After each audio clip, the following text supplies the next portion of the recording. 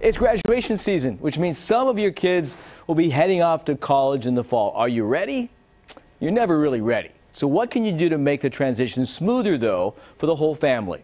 Here's the answer.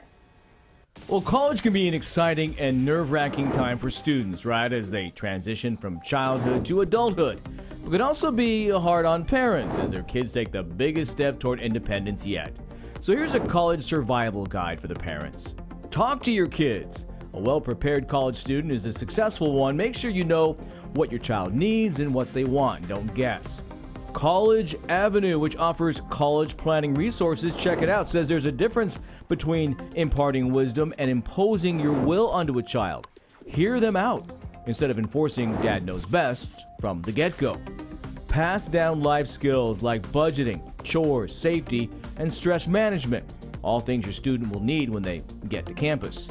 Prepare yourself. Decide how often you'll contact your kid. College Avenue also suggests connecting with others and reinvesting in yourself. Make time for hobbies, travel, anything else you put on hold because of your kid. And lastly, remember, it's not a goodbye, just a see you soon.